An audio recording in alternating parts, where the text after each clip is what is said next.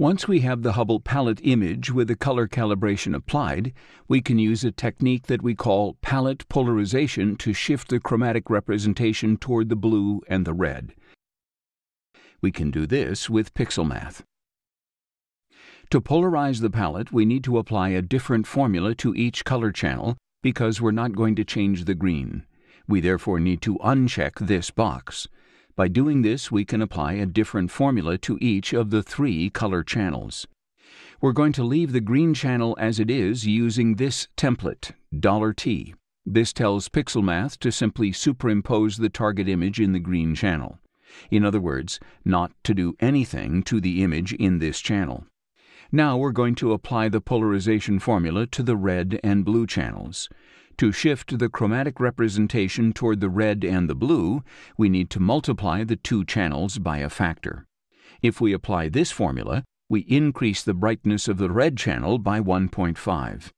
And now we do the same in the blue channel, increasing the brightness by 1.5. Let's apply this to Preview 1 and see what happens. The nebula changes color. Now it isn't as green. However, the sky background has turned magenta. This is because we multiplied the whole image by a factor, and that factor doesn't just affect the nebula but the image as a whole. To avoid this and ensure that the sky background stays neutral, we need to multiply the light from the objects only, not the sky background pedestal. To do this, we need to calculate the pedestal of the sky background in the original image. Let's go through this step by step. First, we create a new independent image using the preview we used of the sky background. We can do this by clicking and dragging its selector from the View selector and dropping it on the workspace. Now that we have the new image, we're going to change its identifier to BG for background. Identifiers are important in PixelMath because we use them to refer to images in the formulas we use. Here, we want to measure the brightness of the sky background. We do this by calculating the median value of the image we've just created. Why do we calculate the median and not the mean? What's the difference? Imagine that we have a 21 pixel image with a star in the middle. The star will obviously be much brighter than the sky background. If we calculate the mean of all these values, even though the sky background accounts for most of the image pixels and the star only a few, the high brightness values of those star pixels completely skew the sky background measurement. The high star pixel values raise the value of the mean so much that all the background pixels are less than the mean. In other words, the mean doesn't represent the typical values of the sky background. But if we put those pixel values in order from smallest to largest and take the middle number or median as the reference value, then approximately half of the sky background values will be below the median and the other half will be above it. The median is therefore much more representative of the lightness of the sky background. This is a really important concept to understand when working with images. What are the implications of this on our image? Well, we can create a larger preview of the sky background that contains a few stars, and those stars won't affect the median value.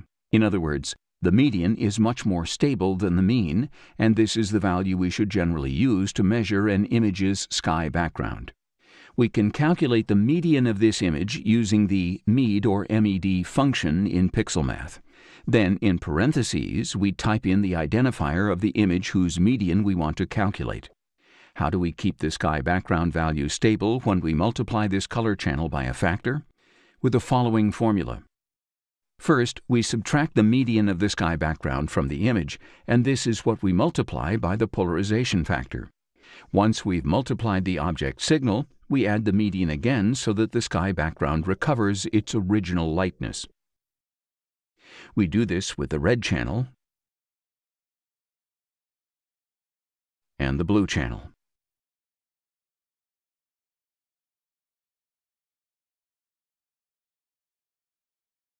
In this way, when we polarize the palette, the sky background remains stable. This formula is always the same, so this process is really easy to use. In fact, we can simplify it even more. If we want to change this value, we have to do it in both channels. To cut out that step, we can change the multiplication factor to a variable. Let's call it k.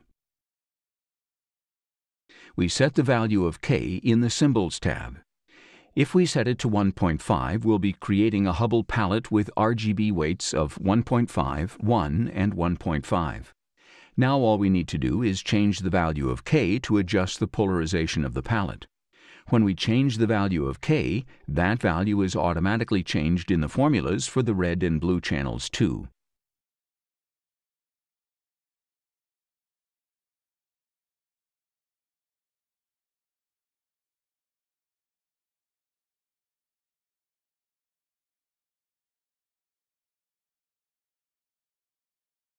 If we set it to 1, we just get the original image.